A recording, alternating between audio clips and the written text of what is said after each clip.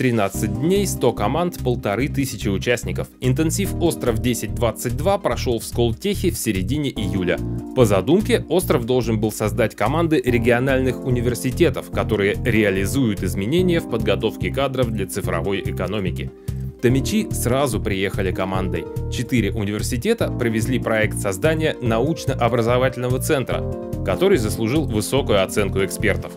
НОЦ мирового уровня или Большой университет объединит все вузы, НИИ и инновационные предприятия и позволит сделать большой скачок в экономике. И роль Тусура в нем крайне важна. Развитие и продвижение отечественной, нашей, томской, в том числе, высокотехнологичной продукции на мировые глобальные рынки. Мы понимаем, что если мы поставили одним из приоритетов развития нашего Э, НОЦа международного уровня, Томского НОЦа, э, космос, то это самые современные технологии, это самые современные материалы и решения, которые, безусловно, должны быть внедрены не только в космические программы, но и в широкий гражданский рынок. И это вообще задача диверсификации вот этих наших решений томских э, в такое в развитие нашей экономики.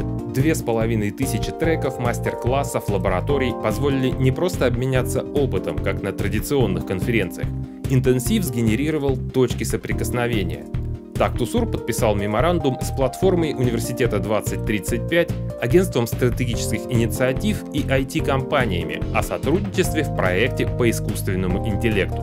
В тот же день 15 российских вузов, включая ТУСУР, заключили соглашение о сотрудничестве в сфере развития сетевого акселератора для технологических проектов НТИ. Это сотрудничество в первую очередь направлено на создание проектных команд, где в рамках межвузовского акселератора и венчурного фонда при университетах будут работать и студенты, и профессора.